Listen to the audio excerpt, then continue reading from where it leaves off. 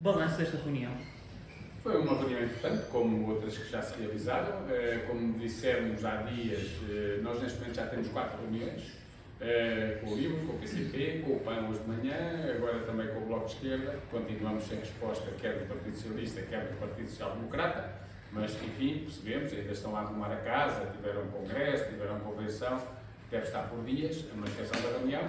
Esta foi uma reunião importante com um partido que aquilo que se compromete uh, neste momento uh, tem provas em termos de passado de que são as propostas que já tem defendido, portanto, nós estamos a falar, digamos, de, de, por vezes, como temos ouvido, e agora ouvimos todos a dizer que vão recuperar o tempo de serviço até aqueles que durante estes anos o inviabilizaram, essa recuperação, ou, ou até ameaçaram a admissão do governo se a recuperação se desse, uh, nem tem a ver com, por exemplo, eh, propostas que ouvimos de alguns partidos também que, eh, recuperando o tempo de serviço, têm, no entanto, eh, nas letras pequeninas do seguro, não é? A letra gorda é vamos recuperar o tempo de serviço e depois nas letras pequeninas é vamos privatizar isto tudo. Ou seja, através de contratos de associação ou até, pior, cheque em si e, e, de outras, e, de outras modalidades de privatização.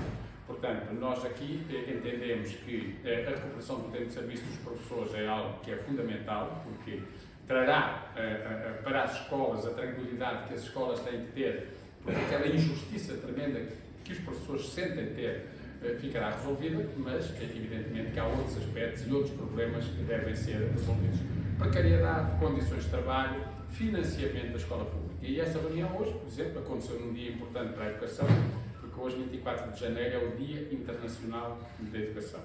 E o Dia Internacional da Educação a Internacional da Educação está precisamente a assinalar o dia com um, um lema, várias iniciativas sobre um lema que é uh, financiar a educação como um bem público que é, um financiamento adequado da educação, portanto, nós sendo uma organização filiada na Internacional da Educação, evidentemente que achamos que esse é um lema que também se adequa perfeitamente àquilo que se passa no nosso país, subfinanciamento da educação, seja do básico, do secundário, do superior, também na ciência, no ensino privado. Portanto, a educação precisa em Portugal de ter um financiamento que permita efetivamente ter a qualidade que se deseja.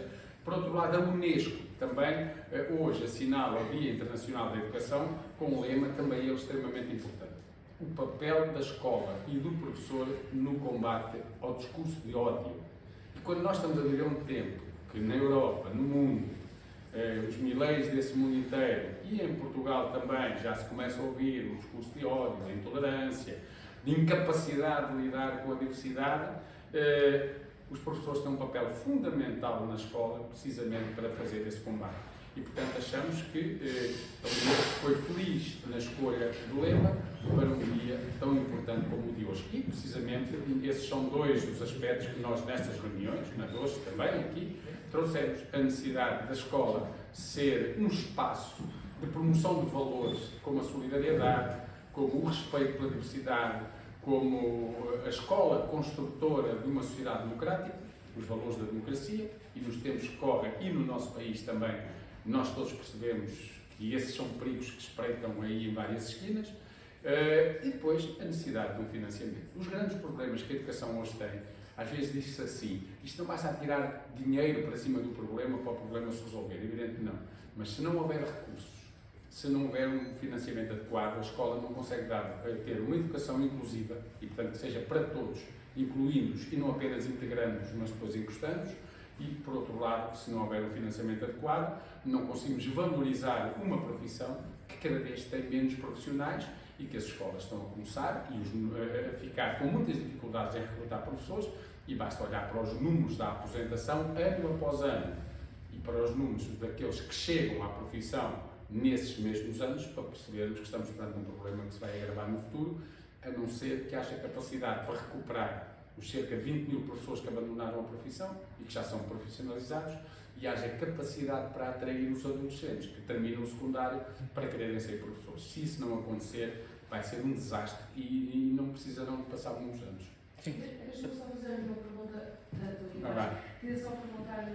que foram as, as medidas que o Bloco de Esquerda apresentou, que, estão, que estão escritas no programa eleitoral, uh, se para a FEMPROF está a resposta que procuravam, se falta alguma coisa, uh, se é com isto que se identificam o que é que fica nos programas e que também se esperam que outros partidos tenham estas propostas na. Sim, nós não viemos aqui, vamos lá, fazer uma apreciação fina daquela que é uh, o programa dos governos ou fazer uma crítica ao programa do governo. Há uma coisa que para nós é fundamental e que nós distinguimos entre os partidos que defendem efetivamente uma escola pública em condições para que ela seja uma escola com qualidade e que a educação tenha qualidade e que a educação seja inclusiva, e o programa eh, do Bloco de Esquerda claramente aponta nesse sentido, e depois uh, outros programas que apontam noutros sentidos, quando ouvimos falar em contratos de associação.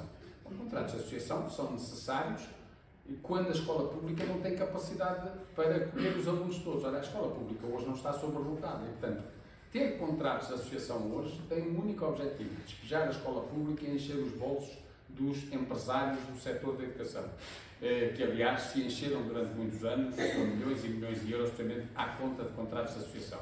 E, portanto, a privatização, através dessa modalidade ou outras, como por exemplo o cheque ensino, ou a privatização da gestão das escolas, etc., portanto, são sempre processos de esvaziamento das escolas públicas. E é preciso até que os professores não se deixem encantar pelos cantos das sereias que dizem nós vamos recuperar o tempo de serviço, mas dizem baixinho e a seguir dar cabo da escola pública, porque senão pouco vale essa recuperação. Neste caso, e o programa eleitoral do Bloco de Esquerda, evidentemente não aponta neste sentido negativo, e portanto aí eh, estamos globalmente de acordo, o resto da apreciação que ainda não nos compete a nós fazer como tirar os professores. Mas, é, mas acredita que alguns partidos estão a desistir da escola pública? É essa a sua opinião? Não acredito, nem de acreditar. Temos ouvido, temos ouvido. Nós ouvimos, precisamente agora na convenção recente da, da Aliança Democrática, precisamente, por exemplo, uh, o, líder uh, dizer que uh, querem retomar os contratos de associação. Esses contratos fazem sentido. A associação de quê? que são os contratos? São estabelecimentos privados associarem-se à resposta pública porque a resposta pública não consegue acolher todos os alunos. A partir do momento em que consegue, nem se percebe o que é que se vai retomar, porque eles continuam a existir onde são necessários. Portanto, o que se pretende parece ser outra coisa. Também ouvimos falar do cheque em cima, já noutros partidos, e eh, quem ouviu também uma outra convenção que aconteceu aqui no fim de semana atrás, uma vice-presidente desse partido foi clarinha aí, e nesse aspecto nós só temos uh, uh, a registrar positivamente a clareza de que a ideia é, de facto, avançar para os privados, e, portanto, no sentido da privatização.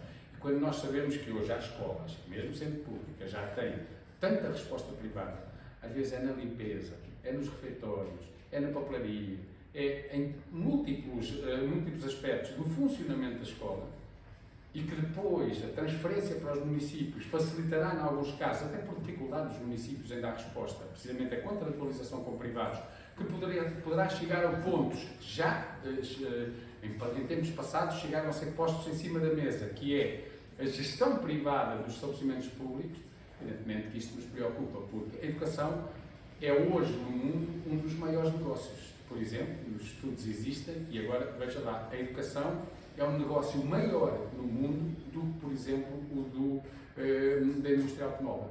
Eh, várias vezes superior ao da indústria automóvel. E, portanto, gente com os olhos eh, em cima do negócio na educação, ao que mais há e na saúde. E, portanto, preocupa-nos sim que haja quem queira que a escola, não é o caso, claro, da esquerda, mas haja quem queira que a educação, deixando de ser um bem público, que é colocado ao alcance de todos, com a mesma qualidade para todos, com apoios específicos para aqueles que precisam. E, portanto, é um bem público e, como tal, deve ser preservado. Olhe para a educação com os olhos do negociante ou do empresário que quer aproveitar isso para fazer dinheiro e para fazer negócio. A educação não é um negócio, é um bem público e é assim que deve ser tratado e, portanto, a escola pública, só ela é que dá resposta. Podem vir 500 mil rankings dizer que há melhores resultados de exames nos colégios. Os colégios, então, que aceitem os alunos que as escolas públicas aceitam. O grande sucesso de uma escola pública pode só ser conseguir que um aluno, mesmo sem sucesso escolar, tenha, com as suas dificuldades todas, sucesso educativo e possa ser alguém incluído na vida de sociedade. Portanto, o colégio mede de outra maneira, é quantos mede em medicina. E nós não temos que ser todos médicos, há alguns que não conseguirão, mas que têm direito a ter uma resposta educativa como os outros. E isto faz a diferença entre o sucesso de uma escola pública e o sucesso do negociante do privado. E, portanto, a escola pública para nós é fundamental e tem que fundamental.